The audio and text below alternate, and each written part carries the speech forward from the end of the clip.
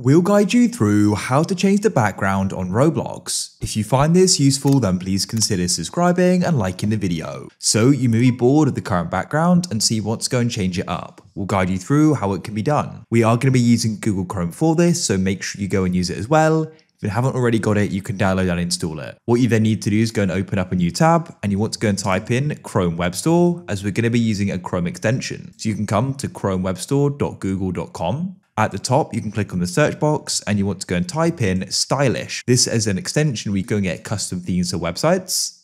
Come over to the right and press add to Chrome and confirm your decision. Now wait, we've now got it. And then what you can do is go and close off this and return to Roblox. You want to go to the top right and press on the puzzle piece, which is for extensions. And you can click on stylish.